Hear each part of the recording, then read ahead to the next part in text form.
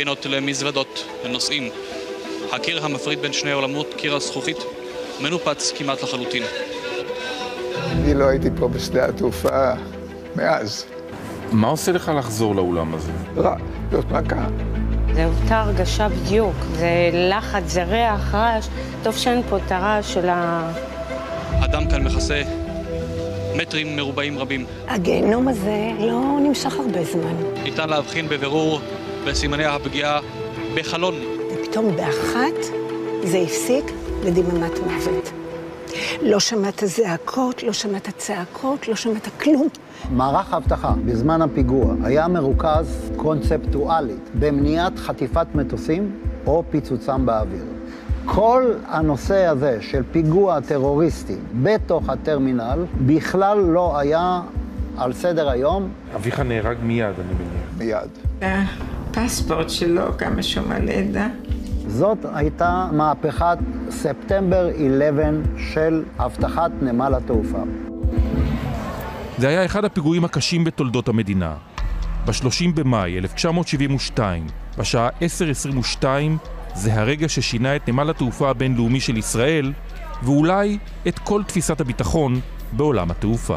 מכאן, מפינה זו, החל קציר הדמים בין הנוסעים. שלושה מחבלים יפנים, חברי הצבא האדום היפני, ארגון שמאל רדיקלי שהזדהה עם החזית העממית לשחרור פלסטין, נחתו בנמל התעופה. כשנכנסו לאולם הנוסעים הנכנסים, פתחו באש מתתי מקלעים מסוג קלצ'ניקוב והשליכו רימונים לעבר נוסעים ומקבלי הפנים שעמדו מעבר לקיר הזכוכית בבניין הטרמינל הישן, טרמינל מספר אחת בלוד. חבילות שהגיעו בטיסה, והאיש לא בא עדיין לפנותן. 24 בני אדם נרצחו בפיגוע, שמונה ישראלים ועוד 16 צליינים מפורטו ריקו, יותר מ-70 בני אדם נפצעו. שניים מן המחבלים נהרגו, אחד ברח ונתפס, מנהיג החוליה, קוזו אקומוטו. אבא נסע הרבה מאוד לחוץ לארץ, הוא היה מדען מאוד מאוד מפורסם. אימא שלי ואני הרבה פעמים באנו לקבל את פניו. במקום שיש כאן קיר, היה קיר זכוכית. עמדנו מחוץ לקיר הזכוכית, תמיד עשינו את זה, וראינו אותו נכנס. מהאזור הזה הגיעו נצנוצים, והזכוכיות על ידינו נשברו. אהרון קציר, פרופסור לכימיה פיזיקלית במכון ויצמן למדע וחתן פרס ישראל, הוא אחיו של מי שייבחר שנה אחר כך לנשיא המדינה, אפרים קציר.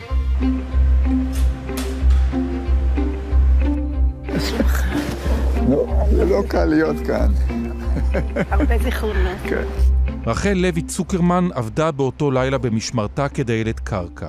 היא ליוותה את פרופסור קציר, שאותו הכירה היטב מטיסותיו הקודמות. עמדתי במשטרה פה, ועל ידי עמדו שלושה מלוכסני עיניים. מולי עומד מישהו ששמו שלוימה. הוא היה בן אדם שהיה פה תמיד. אז מתחיל גיהינום.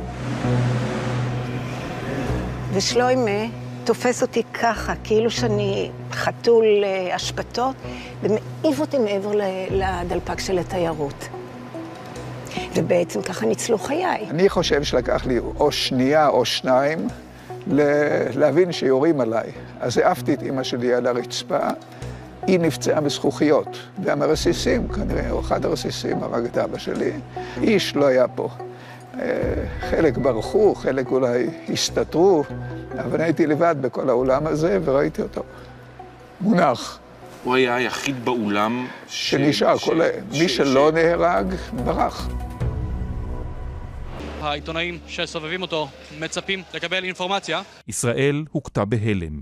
איש לא צפה פיגוע מהסוג הזה. פתאום אני מקבל טלפון. אתה דובר יפנית? כן.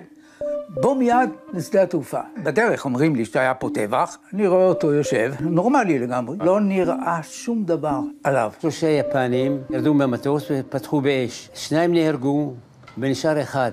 מי זה האחד? הם קוראים לו קוזו אקומוטו.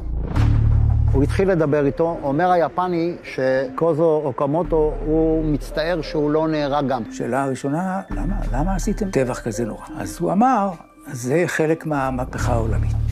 הארגונים הפלסטינאים, שוחרי החופש וכדומה, הם חלק גם מהמהפכה העולמית. בתחילה הוא סירב לדבר, אבל לאחר מכן הוא הסכים לענות על השאלות בכתב. כמעט איש בישראל לא הכיר את הארגון אליו השתייכה חוליית הטרור הזו, הצבא האדום היפני, ועל הקשר שלה לחזית העממית לשחרור פלסטין. חודש וחצי לאחר פיגוע הדמים בנמל התעופה נפתח משפטו של קוזו אוקומוטו בבית משפט צבאי מיוחד בצריפין. כל העיתונות, כל התקשורת הבינלאומית, נאשם מאוד מיוחד. העניין הבינלאומי במשפט היה גדול, גדול מאוד. באופן נדיר נפתח המשפט לסיקור תקשורתי מלא ומהלך הדיון צולם. להסתפק בעונש של מאסר עולם. זה היה כמעט משפט בזק. אחרי ימי דיון אחדים נגזרו על הקומוטו שלושה מאסרי עולם ועוד שש שנים. הוא הושם בבידוד מוחלט. המחבל היפני ששמו הפך למותג עולמי שינה את כל סדרי הביטחון בנמלי התעופה בעולם כולו. כמה שעות אחרי כן הגיעו מתנדבים של אפילו יחידת 101 של אריק שרון, ג'יבלי, כדי להתחיל להיות כוח אבטחתי חמוש שיתחיל להתעסק גם עם נוסעים מגיעים. ומאז, עד היום, אבטחת נמל התעופה הישראלי הפכה להיות מודל חיקוי לכל העולם. לא רק שישראל החליטה שלא לגזור מוות על הקומוטו, היא שחררה אותו במסגרת עסקת שחרור המחבלים עם אחמד ג'יבריל. ישראל שחררה 1,500 מחבלים בתמורה להחזרתם של שלושה שבויים ישראלים, חזי שי, יוסף גרוף וניסים סלם. יש לך ילדה גדולה כבר חביבי. הקומוטו גורש ללוב, ומשם נמלט ללבנון, שם הוא חי עד היום. היום הוא אמור להיות בן 75. התמונה שנשארה לי בראש זה היפני הקטן הזה עומד ועורכי הדין אומרים לו תבקש סליחה, תבקש רחמים. It can save your life. והוא מסתכל עליהם בחיוך כזה שאומר, על מה אתם מדברים? מי רוצה פה להציל את חייו?